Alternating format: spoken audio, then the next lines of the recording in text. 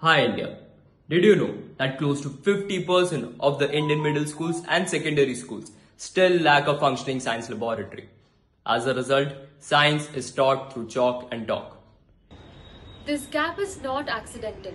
The financial and infrastructural constraints prevents thousands of schools from setting up proper laboratories. As a result, millions of students are deprived of real experimentation That is exactly the problem Pocket Lab is built to solve. Pocket Lab is a portable, low-cost mini laboratory. It brings hands-on science to places that have never had access to a lab. Compact, classroom-safe and syllabus-aligned. At the heart of Pocket Lab is a set of simplified yet fully functional physics, chemistry, and biology apparatuses, engineered for the young learners from classes 7 to 10.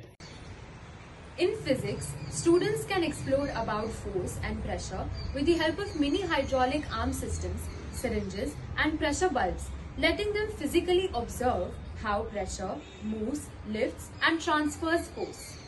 In chemistry, microreaction kit allows safe experiments using tiny quantities of harmless chemicals, so students can perform experiments like electrolysis, pH indicators, and many basic reactions. In biology, a foldable microscope lens and prepared slides let students finally see cells, fibers, and microorganisms rather than just reading about them. Each Pocket Lab comes with experiment cards which are aligned to NCERT chapters, turning every concept into hands-on activity which students can perform by themselves.